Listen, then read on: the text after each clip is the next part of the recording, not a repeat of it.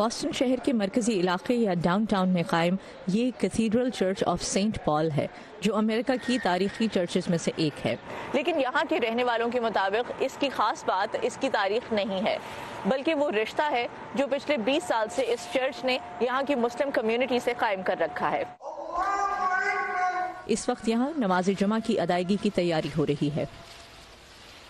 اس تاریخی چرچ میں جمعہ کی نماز کا یہ سلسلہ بیس سال پہلے اس وقت شروع ہوا تھا، جب ایک مقامی یونیورسٹی میں مسلم کمیونٹی کے لیے بنائی گئی نماز ادا کرنے کی جگہ کم پڑ گئی تھی۔ ہمیں جمعے کی نماز کے لیے جگہ کی تلاش تھی اور ہفتے میں ایک بار دو گھنٹے کے لیے بھی کوئی جگہ نہیں مل پائی۔ سو میں نے چرچ سے رابطہ کیا اور انہوں نے ہمیں قبول کیا اور ہم نے چرچ کے تہخانے میں نماز ادا کرنا شروع کی۔ پھر چرچ نے کہا کہ آپ بھی اسی خدا کی عبادت کرتے ہیں اس لیے انہوں نے چرچ کا یہ مرکزی فلور ہمارے لیے تبدیل کیا۔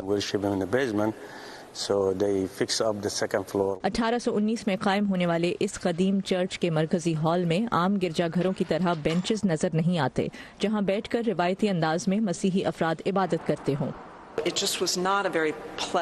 یہ مسلم کمیونٹی کی عبادت کے لیے موضوع جگہ نہیں تھی۔ اس لیے ہال میں روشن دان اور کھڑکیاں بنائی گئی اور لوگوں کو آپس میں ملنے اور عبادت کرنے میں آسانی ہوتی ہے۔ قالین اور لکڑی کے بینچز نکال دیے گئے جس سے اب یہاں آواز بہتر طور پر گونجتی ہے۔ چھ سال پہلے چرچ نے ان تبدیلیوں پر لاکھوں ڈالرز خرچ کیے جس کے بعد اب اس عمارت کے اندر نمازیوں کے لیے وضو کی جگہ موجود ہے۔ مرکزی ہال میں مسیحی عارضی کرسیوں پر بیٹھ کر عبادت کرتے ہیں اور مسلمانوں کے لیے ہر جمعے کے روز ہال خالی کر دیا جاتا ہے۔ ہمیشہ اپنے سے یہی کوشچن کیا ہے کہ کیا ہم ایز اے مسلمان، کیا ہم بھی اپنی مسجدیں ان لوگوں کے لیے کھولیں گے؟ چرچ کی طرف سے حسن سلوک اور مذہبی رواداری کے رویے کے جواب میں یہاں نماز ادا کرنے والے مسلمان مل کر ہر سال سینکڑوں بے گھر امریکیوں کو اس چرچ میں مفت کھانا فراہم کرتے ہیں۔ اور اس کے علاوہ بھی ہم یہاں کئی بین المذہبی تقاریب منعقد کرتے ہیں جہاں مختلف نظریات پر بات کی جا سکے۔